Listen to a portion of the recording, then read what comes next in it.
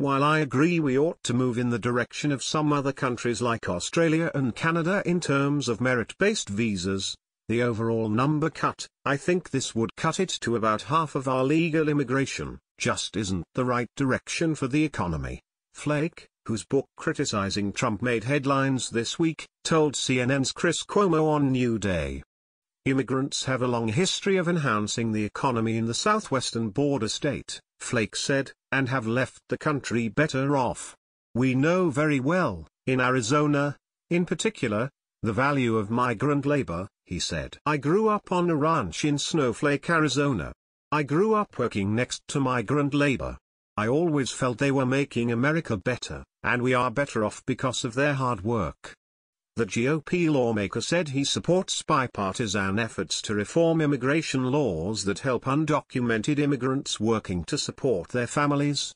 I've been very supportive of immigration reform that first secures the border, and if we have interior enforcement, but that we have a humane and generous mechanism for those who have crossed the border illegally simply to support their family and haven't committed criminal acts, other than crossing the border he said. And also to have robust temporary worker programs to allow us to have the labor we need to benefit our economy. In Flake's recently released book, Conscience of a Conservative, he said his family can testify to the value that immigrants from majority Muslim countries have brought to their life. I have a chapter in there about some doctors that saved my father-in-law.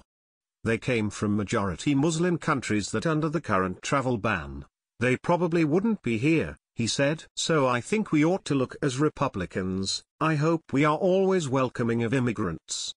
During a Wednesday press briefing, White House senior advisor Stephen Miller discussed Trump's legislation when CNN's Jim Acosta invoked the famous poem inscribed in the base of Statue of Liberty that beckons the world's tired, poor, huddled masses yearning to breathe free to America's shores. Miller dismissed Acosta's citation of the words on the Statue of Liberty, saying they were a later addition to the statue.